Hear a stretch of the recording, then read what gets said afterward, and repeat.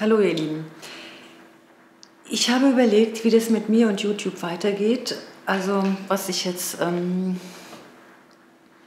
euch noch anbiete, außer natürlich Schminkvideos oder Produktreviews oder generell so ein bisschen Kosmetikalltag, das bleibt.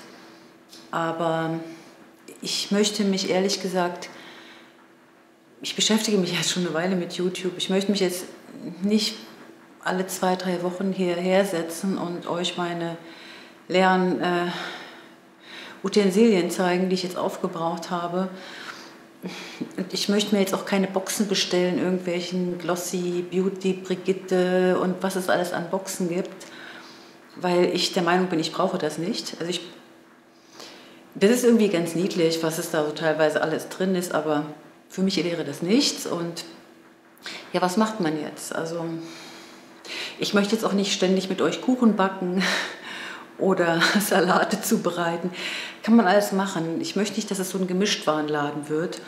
Und äh, ich bin ja unter anderem Autorin und hatte vor ein paar Wochen einen Zweitkanal ins Leben gerufen, habe den aber gar nicht weiter erwähnt. Ich habe den einfach nur verlinkt und ein paar Zuschauerinnen haben das ähm, mitbekommen und haben auch gewechselt. Ich hatte da einige Abonnenten schon und auch viele Aufrufe.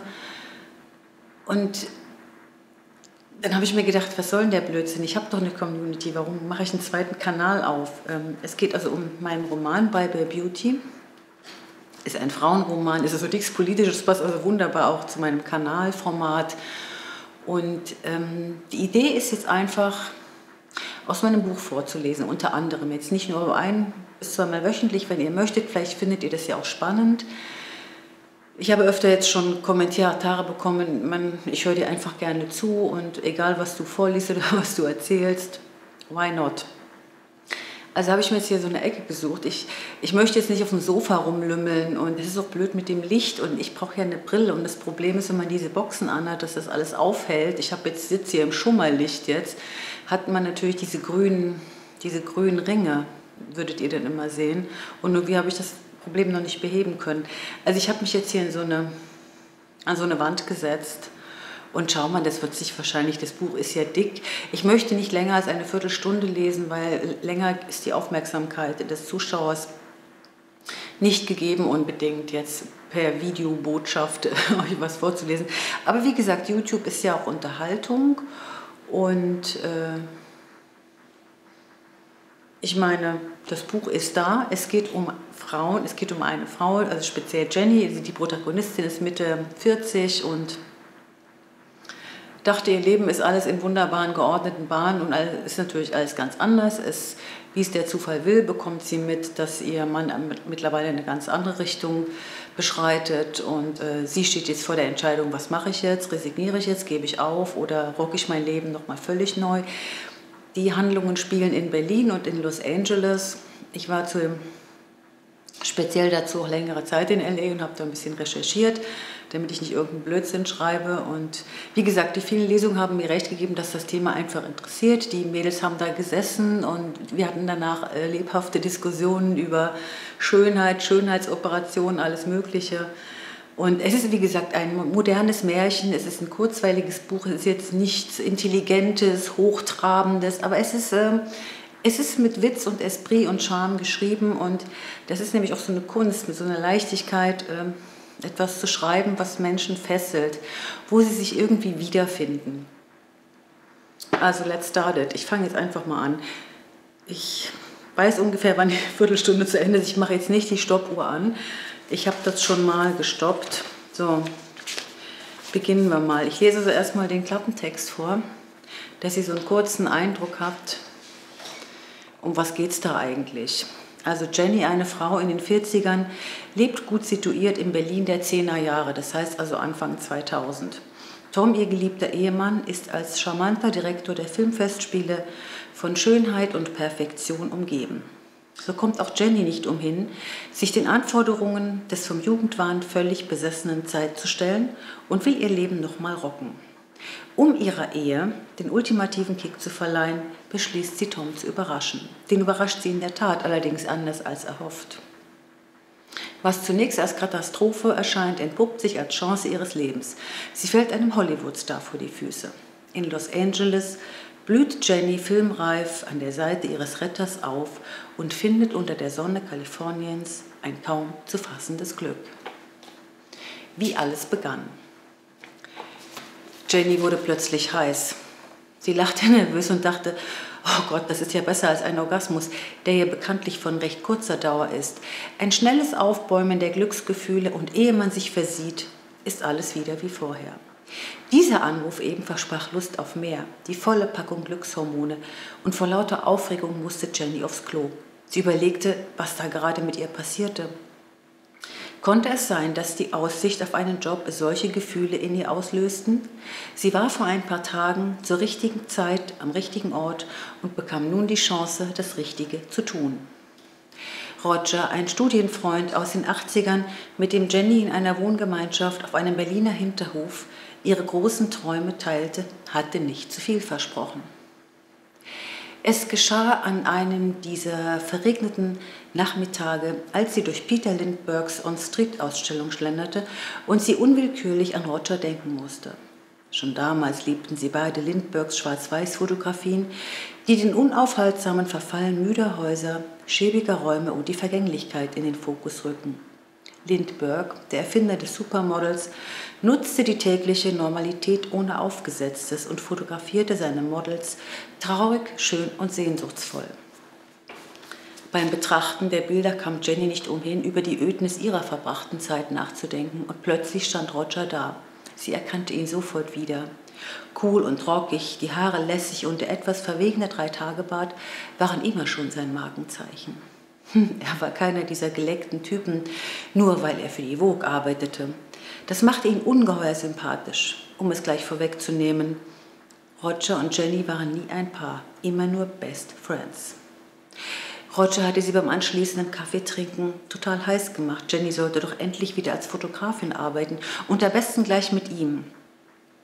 Er hätte einen Wahnsinnsauftrag und könnte ihre Hilfe wirklich gut gebrauchen, da die Zeit ihm quasi davonrannte. Jennys Freude war überirdisch und sie hoffte insgeheim, dass er nicht nur rumlabern würde. Und tatsächlich hatte er sein Versprechen eingelöst. Während Jenny ihr Dasein über 20 Jahre lang nicht ihrem Ego gewidmet hatte, bereiste Roger mit seiner Kamera die Welt der Schönen und Reichen rund um den Globus. Aus einschlägigen Hochglanzmagazinen wusste Jenny, dass Roger mittlerweile als erfolgreicher Fotograf in der Szene hoch gehandelt wurde und sich vor Aufträgen und Anfragen kaum retten konnte. Alles, wirklich alles, was Rang und Namen hatte, wurde von ihm schon fotografiert oder wollte von ihm fotografiert werden. Roger war eben einfach einer der Besten und angesagt.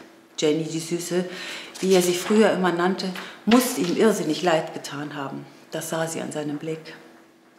Mit seinen Fragen, wie es ihr gehe und was sie denn so mache, hatte er einen Stein ins Rollen gebracht, der nun nicht mehr aufzuhalten war. Jenny war ehrlich. Und zwar so ehrlich, dass es direkt peinlich war und sie sich im Nachhinein darüber etwas schämte. Sie hatte unverblümt gesagt, dass sie vor lauter Selbstmitleid über die verpassten Chancen bald umkomme, die Arbeit als Fotografin wahnsinnig vermisse und dass sie einfach nur noch frustriert sei. Eine verheiratete Frau macht so etwas nicht, dachte sie immer, in der Öffentlichkeit ihrer Unzufriedenheit einfach so freien Lauf zu lassen, egal wie unglücklich man gerade ist. Es passte einfach nicht zum Kodex der oberflächlichen Bussi-Bussi-Gesellschaft. Aber jeder Mensch hat nun mal sein ganz persönliches Verhältnis zum Glück. Bei manchen ist es erstaunlicherweise Dauergast. Nicht wenige Dumpfbacken erkennen ihr Glück erst gar nicht und lassen es wie Sand zwischen ihre Finger rieseln, und andere Schwachköpfe jagen dem Glück erfolglos hinterher. Bei Jenny traf irgendwie gar nichts so richtig zu. Sie war weder glücklich noch unglücklich. Dafür ging es ihr im Wesentlichen zu gut. Vielleicht hielt sie auch nur die Messlatte zu hoch und ihr Anspruch auf Glück stand, zu keinem Verhältnis, stand in keinem Verhältnis zur Realität. Man neigte ja mittlerweile dazu, Glück als Maximierung von Lust anzusehen und nur das Größte, Schönste dabei gelten zu lassen. Traurigkeit und Schmerz wird mal eben ausgeschaltet und das Glück als Dauerzustand angestrebt. Und ehe man sich versieht, ist ja auch schon da der negative Stress. Jaja Gabor, eine Hollywood-Diva aus goldenen Zeiten, sagte einmal, nur Idioten sind immer glücklich. Diese Aussage fand Jenny witzig, aber es stimmte. Glück ist immer nur ein Moment. Das sollten auch Idioten zur Kenntnis nehmen. Kurzum, Jenny fehlten einfach die Herausforderung und der Erfolg und genau da lag der Hase im Pfeffer. Wie sollte man sich auch fühlen, wenn immer andere die Hauptrolle spielten und die Selbstzweifel einen Step by Step kleiner und hässlicher machten? Denk positiv, hörte sie immer. Visionen sollte sie haben, über den Tellerrand schauen, sich Ziele stecken und ihre Träume leben. Gut und schön, die Frage war nur wie. Einen Fuß vor den anderen setzen und die großen Fragen auf die großen Tage mit den großen Momenten und den großen Gefühlen verschieben? Egal. Roger hatte sie, sie, tatsächlich gefragt, ob sie ihn bei einem Fotoshooting unterstützen könnte. Das Honorar sei für sie nicht hoch, der Wiedereinstieg nach jahrelanger Abstinenz allerdings spektakulär. Der Auftrag bestand darin, Models im Rahmen einer exklusiven Fotokampagne lasziv in Alltagssituationen darzustellen. Das hieß mit verwuschelten Haaren in einem Hauch von nichts zum Beispiel Gemüse putzen, den morgendlichen Espresso trinken im Negligé, im kleinen Schwarzen den Küchenboden schruppen und das bitteschön so, als wäre dies die normalste Sache auf der Welt. Schließlich sollten diese sexy Fotos in einem limitierten Kalender, der selbstverständlich nur für VIPs erhältlich war, erscheinen. Und nichts Aufregenderes, Schöneres konnte sich Jenny derzeit vorstellen, als endlich wieder hinter der Kamera zu stehen, um unwiderrufliche Momente für die Ewigkeit festzuhalten. Am besagten Morgen stieg Jenny in ihren geliebten alten schwarzen Golf und fuhr über die Stadtautobahn rein nach Berlin zum Prenzlauer Berg. Der Prenzelberg, wie die Berliner ihn gern nannten, mit seinem ausgeprägten Nachtleben, unzähligen Kneipen, Cafés und Stammclubs von Rammstein bis Rosenstolz, war immer schon das Szeneviertel Berlins. Sie erinnerte sich an früher, als sie hier in einem heruntergekommenen Altbau mit Ofenheizung und der Toilette auf dem Hof lebte und einfach happy war, Teil des Ganzen zu sein. Denn schon damals galt das Viertel als Tummelplatz der alternativen Szene. Leute wie Nina Hagen oder die Bürgerrechtlerin Bärbel Bohley lebten hier und selbst unsere mächtigste Frau, unsere Angela, fand hier lange Zeit ein Zuhause. Heute, nach dem Fall der Berliner Mauer, ist alles schick und teuer. Der düstere Charme von damals wurde durch notwendige Sanierungen verdrängt und so bietet Prenzlauer Berg ein Bohemien-Lebensgefühl Deluxe, an dem auch Promis ihren Gefallen gefunden haben. Logischerweise erwies sich die Parkplatzsuche wie in jeder Millionenmetropole äußerst nervenaufreibend. Endlich eingeparkt starkste Jenny bewaffnet mit ihrer Fotoausrüstung und auf Stöckelschuhen in das von Roger beschriebene Loft. Die Füße taten ihr schon nach kurzer Zeit höllisch weh. Jen, Jenny war nur noch an diese Langlauf-Birkenstocktreter gewöhnt und zu allem Überfluss plagten sie auch noch hämmernde Kopfschmerzen. Als sie jedoch das Studio betrat, empfing sie wie in alten Zeiten diese hektisch flirrende Atmosphäre. Madonnas Like a Virgin dröhnte aus den Boxen. Die vielen schönen Menschen wirkten sofort aufregend, prickelnd, ja fast wie ein Aphrodisiakum auf Jenny und ihre Kopfschmerzen waren ihm nu wie weggeblasen. Roger begrüßte sie nach Bussi-Bussi-Art und meinte, Gott sei Dank, dass du gekommen bist. Glaub mir, Süß, ich krieg ja gleich einen Tobsuchtsanfall. Komm, lass uns gleich anfangen. Zeit ist Geld. Jenny lächelte und sagte ziemlich cool, keine Panik, das schaffen wir schon. Sie kickte ihre Schuhe von den Füßen und war von nun an in ihrem Element. In alter Routine, als ob sie jahrelang nichts anderes getan hätte, machte sie die Fotoausrüstung startklar, prüfte mit ihren feinen Sinnen den Raum, das Licht, die Stimmung, versammelte die Models um sich, stellte kurz und präzise ihre Ideen vor und gab die ersten Anweisungen. Die Mädchen waren Profis und konnten auf Befehl erotisch aussehen. Das hieß, Kinn nach unten, Augenaufschlag nach oben, die Stirn dabei um Himmels willen nicht in Falten ziehen und ein halb geöffneter Mund. Geöffneter Mund. Genau das war es, was der Kunde sehen wollte. Purer, angedeuteter Sexappeal, festgehalten auf Zelluloid. Stundenlang wurden die Models geschminkt, frisiert, an und wieder ausgezogen, Positur geschubst, an ihnen herumgepudert und herumgezupft. Jenny arbeitete wie besessen und motivierte die Mädels, in ihren hauchdünnen Fummel immer wieder aufs Neue wirklich alles zu geben. Es funktionierte. Mit ihrer Euphorie steckte sie nach kurzer Zeit das ganze Studio an und Roger meinte hocherfreut, Mann, du bringst hier richtig Leben in die Bude. Glaub mir, das habe ich ganz schön vermisst. Hm, am Abend waren die Fotos im Kasten und Jenny kaputt und glücklich zugleich. Sie setzte sich im Schneidersitz aufs Sofa. Roger legte ein Madonna-Video ein und brachte ihr wie früher eine Tasse Tee. Beide zündeten sich eine Zigarette an und Jenny sagte, oh, genau das habe ich jetzt gebraucht, du bist echt ein Schatz. Er lächelte sie an. Du hast deinen Job heute richtig gut gemacht. Ohne dich hätte ich den Abgabetermin voll knicken können. Ich danke dir. Immer gerne. War ich klasse mit dir zu arbeiten, ein bisschen wie früher. Erinnerst du dich? Roger blickte sie an. Ich muss schon sagen, du bist wirklich eine tolle Frau. Sie sah ihn mit großen Augen an. Ja, ist mein Ernst. Sag mal, wann hat dir das jemand das letzte Mal gesagt? Hm, Jenny runzelte die Stirn. Ach, Roger, ehrlich gesagt, ich weiß es nicht. Ist schon lange her. Etwas verlegen über dieses schöne Kompliment lehnte sich Jenny zurück und nippte an ihrem Tee. Schon allein der Geruch von frisch aufgebrühtem Jasmintee lockte in ihr eine geistige, löste in ihr eine geistige Entrücktheit aus und mit einem Mal war sie da, die Erinnerung. Vor ihrem geistigen Auge sah Jenny wie im Zeitraffer ihre Jugend, ja, es fühlte sich seltsam für sie an, denn Jenny sah sich selbst wie einen Geist aus der Tasse Tee aufsteigen und sie kam nicht umhin, sich zu fragen, was eigentlich schiefgelaufen war.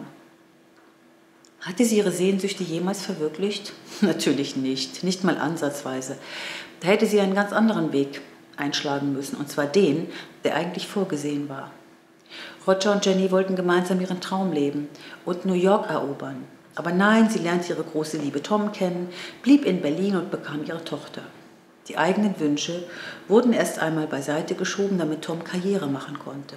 Im Prinzip eine schöne Idee. Einer hält alles zusammen und sorgt für die nötige Nestwärme, während der andere die Brötchen nach Hause bringt. Hm, nur leider bleibt bei dieser Rollenverteilung im Laufe der Zeit meistens einer auf der Strecke. Warum? Weil sich Lebensumstände ändern, Prioritäten verschieben und ruckzuck, ehe man sich versieht, ist der Zug ohne einen abgefahren gut mögen. Manche denken, das mit der Selbstverwirklichung sei so eine Art Luxusproblem. Und Jammern auf hohem Niveau ist undankbar, rief sich Jenny manchmal ins Gedächtnis zurück, wenn der simple Alltag sie aus der Bahn warf und der Frust sie zu übermannen drohte. Der heutige Auftrag hatte Jennys Ego auf Hochtouren gebracht. Ein beflügeltes Gefühl, etwas geschafft zu haben, machte sich in ihr breit. Ab heute war Schluss mit dieser Negativdenke und ihrer Schüchternheit.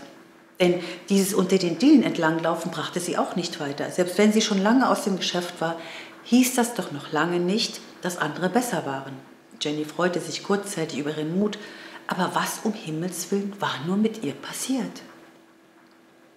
War sie im Kern noch immer eine Optimistin oder doch schon so eine miese, petrige Pessimistin? Diese Frage quälte sie in letzter Zeit immer häufiger, Kursschwankungen mit eingerechnet. Eigentlich war gar nichts passiert. Wenn man von der banalen Tatsache mal absah, dass Jenny einfach älter geworden war, nicht mehr gut schlief und gelegentlich diese anfallartigen Hitzewallungen bekam. Das ging schon eine ganze Weile so, aber irgendwie versuchte sie, mal mehr oder mal weniger, die Anzeichen der Umstellung zu ignorieren. Schlimmer hingegen erschien ihr die Tatsache, den Puls der Zeit verpasst zu haben. Das war eine böse Falle, in die sie einfach so hineingeschlittert war. Sie hatte es versäumt, sich anzupassen an diese schnelllebige, hektische, vom Jugendwand völlig besessene Zeit.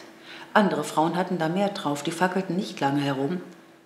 Jenny starrte auf die Leinwand und plötzlich beim Anblick von Madonna, die sich wunderschön mit vollem Körpereinsatz in ihrem Musikvideo auf dem Boden herumregelte, dachte Jenny an die vielen Superlative, wenn es um die größte Pop-Ikone aller Zeiten ging. So, ihr Süßen, das habe ich ungefähr eine Viertelstunde gelesen, glaube ich zumindest. Und ähm, ich hoffe, es hat euch Spaß gemacht. Und ihr folgt mir weiter auf den Spuren von Jenny und Tom, Tom und Jenny, nicht Tom und Jerry, sondern Tom und Jenny und dem Hollywood-Star und der Freundin und der Tochter und überhaupt und Hollywood. Tja, ich wünsche euch wie immer lovely day und bis bald. Ciao.